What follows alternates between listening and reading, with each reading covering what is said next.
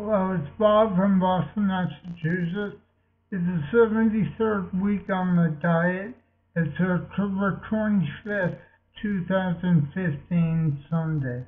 I do the video in two parts. The first day was short reading to see how my speaking's doing.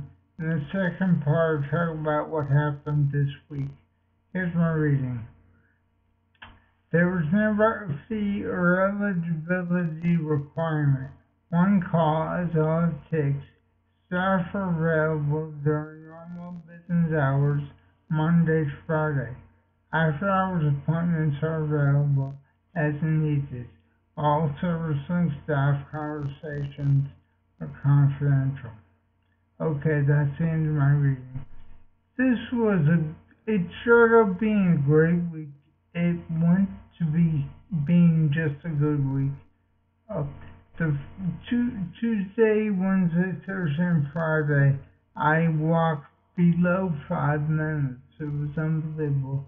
But then on Friday, I had sort of a, a setback where I took these lactobacillus pills for candida I thought I had, and I had some kind of a very bad reaction where my foot went numb and my walking on this weekend wasn't so good. And I my foot was numb for about 36 hours. But when I woke up this morning it was better. But still my walking suffered because of it. And the walking on this weekend was like 527 well this morning yesterday was the same about. So uh, it would have been a great week until I took those pills. Hopefully uh, next week will be better. Um, the reason I took the pills was whenever I eat blueberries or, or raspberries, I'm feeling itchiness on my scalp. And I read that it could be because I eat too much sugar and I might have I have an overgrowth of yeast called candida infection. So I from now on, um, for the next month or I guess or two, I'm gonna stop eating sauerkraut, mushrooms, raspberries, and blueberries. It's pretty strict, but hopefully that will cure this itching problem and I'll be able to eat blueberries again. That's what I'm hoping. Anyway, they also said you should take this lactobacillus pill. It's called lactobacillus acidophilus. But it's something in the make, the way they made them or whatever, really screwed me up for about a day and a half. So um, I won't do that part, but I will change my diet a little bit.